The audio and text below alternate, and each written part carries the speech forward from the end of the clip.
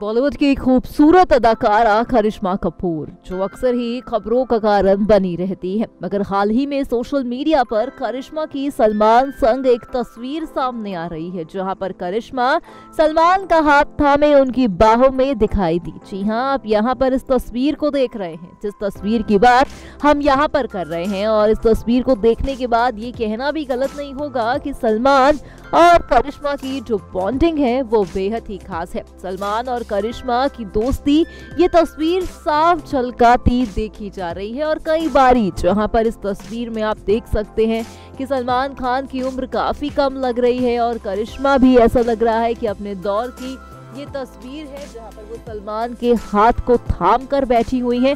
वाकई ही, कहीं ना कहीं ये तस्वीर जो है काफ़ी ज़्यादा खूबसूरत है, जो इन दिनों सोशल मीडिया पर वायरल हो रही है। और अब भी देखा जाता है कि सलमान खान जो है, करीना और करिश्मा के साथ, इनके जो रिश्ते हैं, वो काफ़ी ही ज़्यादा खास हैं। और ये रिश्ते अभी से नहीं, ये तस्वीर इस चीज़ को बयां कर रही है कि ये रिश्ते काफ़ी पुराने हैं।